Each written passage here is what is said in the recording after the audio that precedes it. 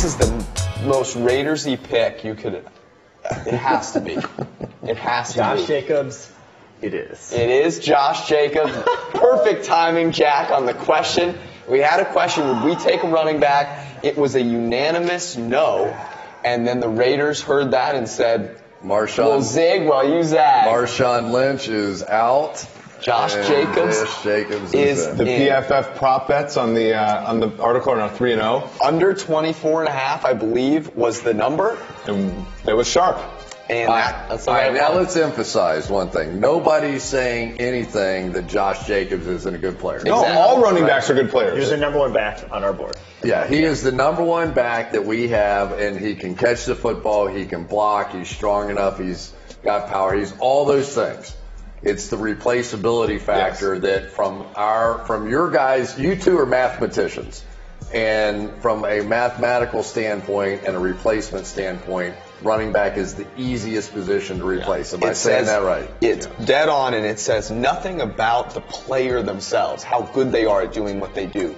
It's simply that even when a running back, a Saquon Barkley, does a tremendous job as he did last year, it's just hard to move the needle because of what the running back position does. They catch passes behind the line of Right. scrimmage. They, they they run the ball backwards to hand it off to the running back, right? When your goal is to go forward. So it's just the things that the running back position is asked to do don't generate a ton of The, value. the choice to take a running back now means that at a different position you have to you're foregoing the choice to take another position and opting to do it in the sixth round. And a sixth round tackle compared to a first round tackle so much worse than a sixth round running back versus a first round. And, and we're talking about a team that has A ton of desperate needs. needs at cornerback, right? Yep. And and They have needs that many the number places. other than quarterback.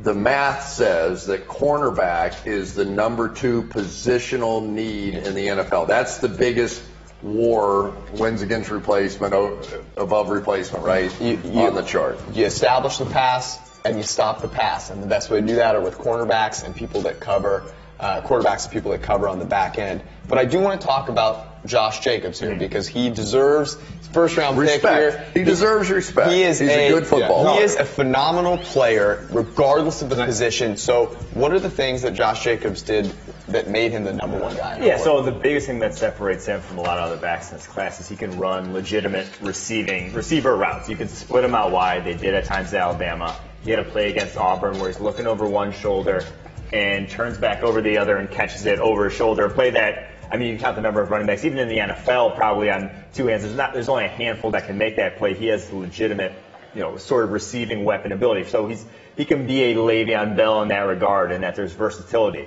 Now, again, you have to use him in that regard to get the most out of it. I they just showed it there, the clip that I was talking about. He has you know, those sort of skills, runs extremely hard.